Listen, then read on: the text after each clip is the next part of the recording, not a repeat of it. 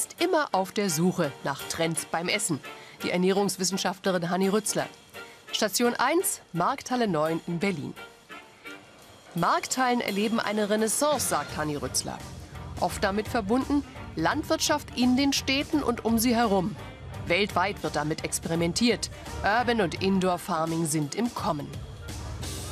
Hier in dieser Markthalle wird verkauft, was ganz in der Nähe auch angebaut und gezüchtet wird.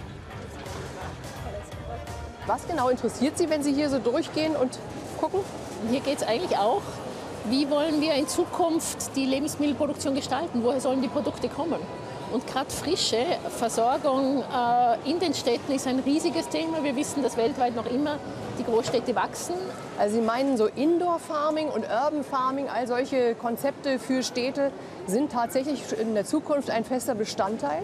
Ich würde sagen, auf jeden Fall ein fester Bestandteil. Kann denn das tatsächlich Teile der konventionellen Landwirtschaft, die möglicherweise durch verschwindende Anbauflächen verloren gehen, ersetzen?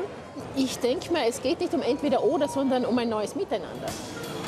Fazit, das Essen der Zukunft kommt von nebenan, vom Feld oder aus neuartigen Farmen. Station 2, die Science Kitchen von David Marx. Schönen guten Tag, Herr Marx. Eis gibt es jetzt, stimmt's? Er entwickelt hier neuartige Lebensmittel, besonderes veganes Eis zum Beispiel. Aber das eigentlich innovative, neue ist das hier, ne? Ja, also genau. Eis neu zu erfinden bedeutet nicht nur die Rezepturen und die Texturen ändern zu können und sie besser werden zu lassen. Ich sage jetzt mal ganz frech auch gesünder, sondern auch schöner. Wird sowas auch generell zu überlegen sein, ob man gesündere Lebensmittel herstellt? Naja, also Gesundheit ist natürlich ein Megatrend. Ja. Das ist für große Teile der Gesellschaft inzwischen seit alltäglich. Ja. Es ist ein Druck, ein Stress, weil man kann es nicht delegieren. Man mhm. weiß, dass man zu einem großen Teil selber dafür zuständig ist.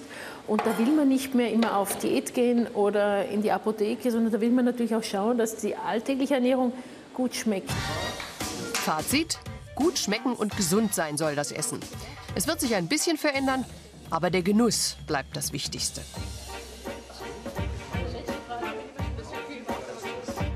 Es gäbe etwas, das gesund ist, schmeckt und anderswo zum Alltagsessen gehört. In Europa und den USA zum Beispiel aber nicht. Insekten. Genau dazu hält Hanni Rützler einen Vortrag. Station 3. Wie weit sind uns die Insekten? Insekten brauchen kaum Platz, wenig Wasser und wenig Futter. Ganz anders als bei den Eiweißlieferanten Rind, Schwein und Huhn. Aber wollen wir das? Wenn wir in unserem Kulturraum an Insekten denken, dann sehen wir zuerst einmal, äh, die fressen uns, nicht umgekehrt. Probieren Sie und ähm, lassen Sie sich drauf ein. Überraschend, kaum einer, der nicht kosten wollte. Ups. Bisschen trocken und salzig. Ja. Aber kann man essen. Und was sagen Sie? Ist nicht schlecht. So ein bisschen wie, wie Flips oder Chips oder so. Also ein guter Snack.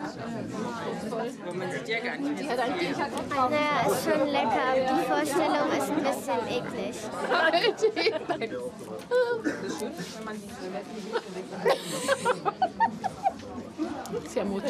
Es schmeckt aber nicht schlecht. Es muss nicht sein. Man muss es nicht essen. Man muss es auch nicht essen.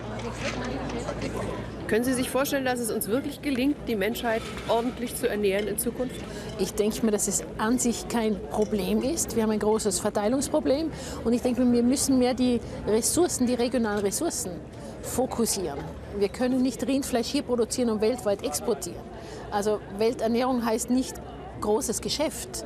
Aber Welternährung heißt sozusagen die regionalen Ressourcen mit Energie, mit Wasser, mit Proteinquellen nützen, hier mehr forschen und Vielfalt zulassen und fördern. Dann also wird es genug Essen geben, um die stetig wachsende Weltbevölkerung satt zu machen.